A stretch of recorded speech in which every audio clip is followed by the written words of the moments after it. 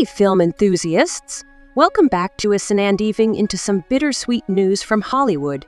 The legendary Carl Weathers, known for his unforgettable roles in the Rocky series and recent stints in The Mandalorian, has left us at the age of stick around as we celebrate the extraordinary life and career of this iconic actor.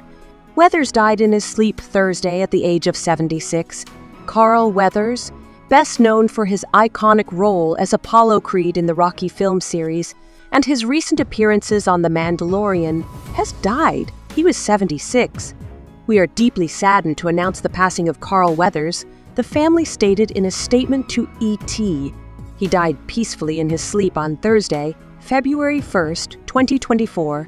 Carl was an exceptional human being who lived an extraordinary life through his contributions to film, television, the arts, and sports.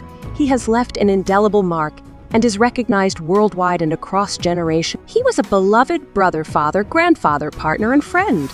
Born on Jan 14, 1948, in New Orleans, Weathers enjoyed a remarkable career spanning five decades. With appearances in over 75 films and television shows, his contributions to the entertainment industry were diverse, ranging from action packed blockbusters to animated classics.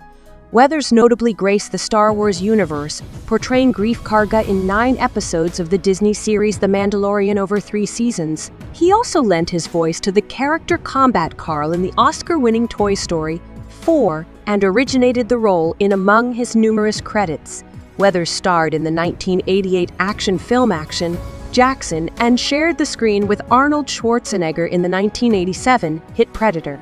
However, his most iconic role remains that of Apollo Creed, the charismatic and powerful heavyweight champion in the Rocky film series.